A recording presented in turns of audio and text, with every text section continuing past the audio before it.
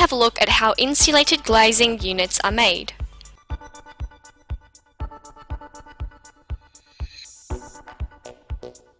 First, the glass lights are washed and dried. The water is cleaned and recycled to reduce the impact on the environment.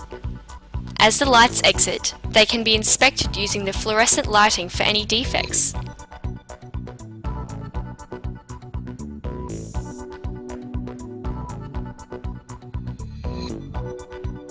They are then moved to the sealing section. A pre-formed frame is fitted.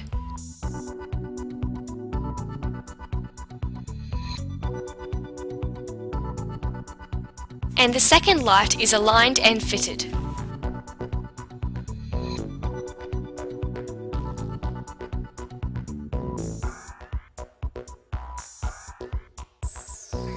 The insulated glass unit is then moved to the press section to seal the joints by pressing the lights and frames together.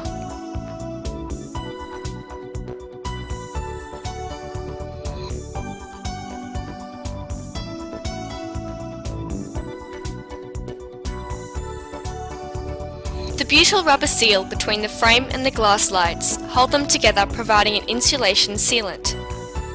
This sealant ensures that no air or liquid can enter the insulated glass, allowing it to provide a thermal barrier between the inner and outer surfaces.